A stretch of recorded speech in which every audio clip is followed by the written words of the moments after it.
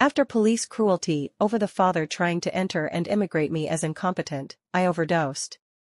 I now feel UK Met police were punishing me for not being beneath a man, which is a social epidemic in the UK.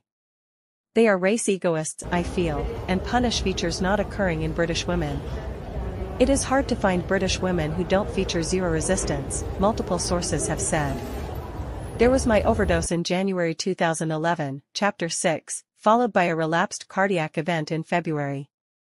I was feeling very disturbed throughout 2011, and could not trust doctors. I wrongly believed they were to blame for the trauma I was going through with men loitering outside and kicking the door when I was alone at home, while police looked the other way.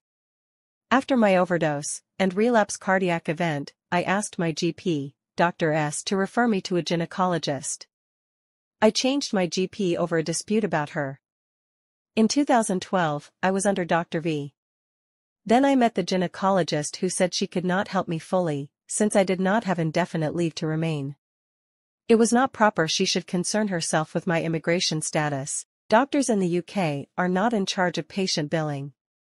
If a patient is not entitled to free NHS treatment, a doctor has the right, but not the obligation to refuse treatment. They may decide to give treatment and charge any fee they like.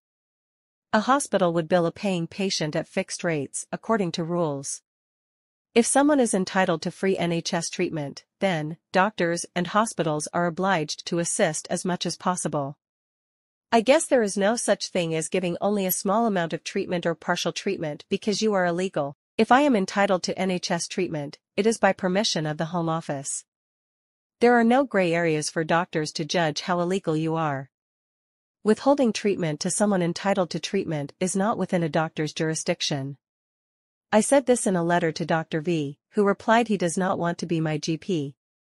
He wrote in his reply that I had ruined a psychiatrist's life, she was transferred from Pembroke, all thanks to you, he said. In the year 2012, after Dr. V did not want to be my GP in connection with the above mentioned, I did not have a GP for the next two and a half years.